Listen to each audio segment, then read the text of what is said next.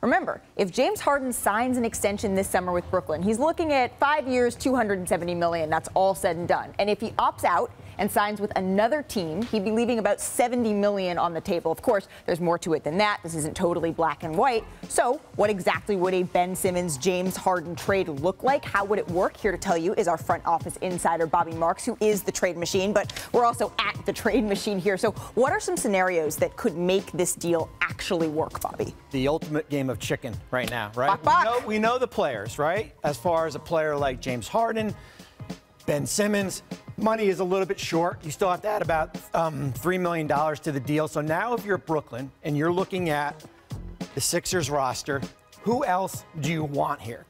Player like Seth Curry, Matisse Thybulle, Furkan Korkmaz. Let's put a player like Curry into the deal.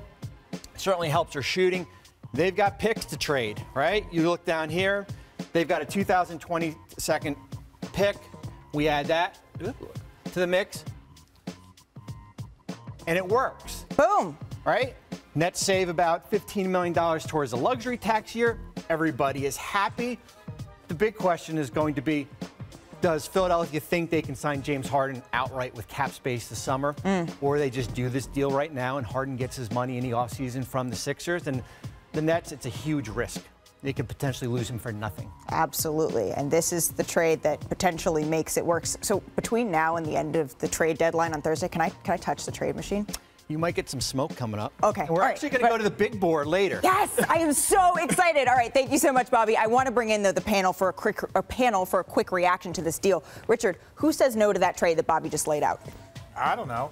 it's like, no, I, I think ultimately, as much I, I, I can't speak for the Brooklyn Nets locker room, but I can say that if Kyrie was playing and Kevin Durant and all the things were moving in the direction, but it's not. So now they have to look at okay, is James unhappy? If they feel like James Harden is unhappy with the situation, and who knows why he would be unhappy in Brooklyn, then it's like the possibility of losing him for nothing that kind of scares you. We can talk about Joel Embiid having the season of, of his life, but Kevin Durant, before his injury, was probably either one or two in MVP voting. So, like, they have a great player that they don't want to waste any time with either. So they're trying to figure out, I think both teams are trying to figure out how to not waste a championship caliber season. Well, Zach, I saw you studying the trade machine over here, almost in awe of it. What do you think? Yeah, I made a fake trade when you weren't looking. I traded Joel Embiid for Kyrie Irving. How did it work? Fun, and Bobby, it was successful, but Bobby took it away.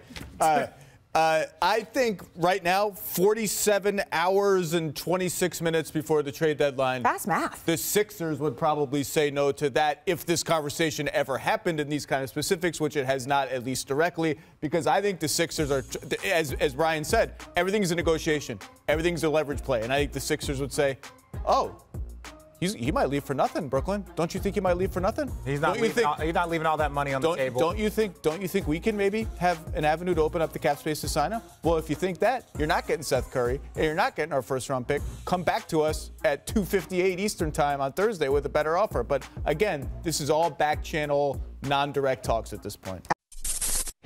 Thanks for watching ESPN on YouTube. For live streaming sports and premium content, subscribe to E ESPN Plus.